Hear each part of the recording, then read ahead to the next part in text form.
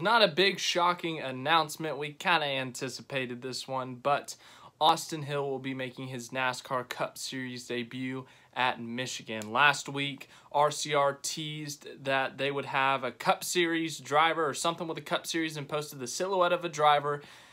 It was very clearly Austin Hill. Like, there was no question about it. So, no shock here, but still, it is news. We do have to talk about it. Let's read the statements first, and then we will talk about Austin Hill. Austin Hill said, As a kid growing up in this sport, getting the chance to run a NASCAR Cup Series car is the ultimate dream, especially with a team like Richard Childress Racing that has much history and success. I'm so thankful that Richard Childress and everyone at RCR have so much faith in me.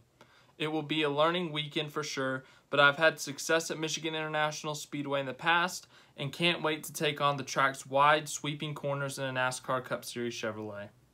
Team owner Richard Childress said Austin Hill has shown talent in every series he's raced in during his career, so I couldn't be more excited to have him behind the wheel of a Cup Series car. He's having a strong season in the Xfinity Series, and I know he will be just as competitive and eager to learn behind the wheel of a Cup Series car. Here is the paint scheme for Austin Hill. Same sponsor as he has in the Xfinity Series, but uh, Austin Hill, if you did not know, he raced in the Truck Series for a few years. Uh, he has eight career wins in the Truck Series, and this year is his first full-time series in the Xf first full-time season in the Xfinity Series, and he has two wins, both at super speedways. He won the season opener at Daytona, and he won at Atlanta as well. Um, he's led over 200 laps on the season. He has eight top fives, 13 top tens on this season. So he's having a really good season, sits sixth in the points. So obviously RCR, they have a situation right now uh, where they currently have a driver in one of their cup cars, their full-time cup cars, who will be there next year, but he's already announced that he's not going to be there. Of course, Tyler Reddick announced a few weeks ago he would be leaving RCR at the end of the 2023 season for 23XI Racing. Uh, so Richard Childress Racing has quite a bit of time to figure out who's going to fill in the full-time RCR car. Uh, you know, it could still be the 8. They could change it to the 33. They could change it back to another number. I don't know. But the point being is that RCR has time to figure out who they want in that second car. Obviously, Austin Dillon's going to stay. So, Austin Hill is a very good option for multiple reasons. Number one, he's already in the RCR program. I mean, you know, you already know the guy, you already build race cars for him, you got a relationship already. It seems like the natural next step for Austin Hill after this year Next year, two years in the Xfinity Series, getting some more experience in the lower levels to move him up to Cup. Um, also, you know, it's not like he's some scrubber. He's not good. He has proven that he can win races in the lower series. So give him some time. Give him a part-time schedule next year in Cup.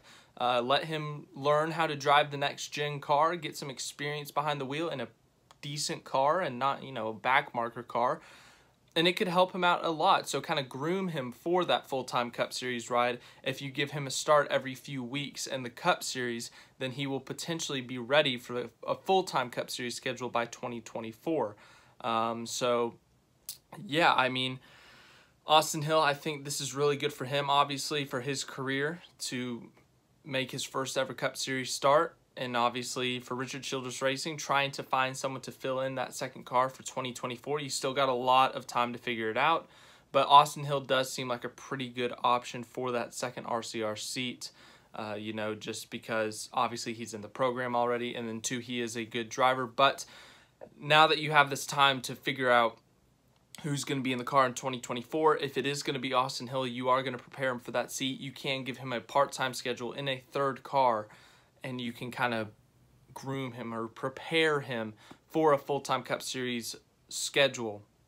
Prepare the give him time in the new next gen car because they're so much different from the Xfinity cars.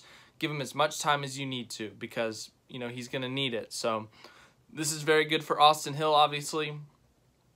RCR, I mean, he's an RCR driver, so good, good for them, I guess. But obviously, that question is yet to be answered on who will replace Tyler Reddick at RCR. I would think that Austin Hill would be one of the favorites just due to, you know, him being with RCR, him having a lot of success in the lower series.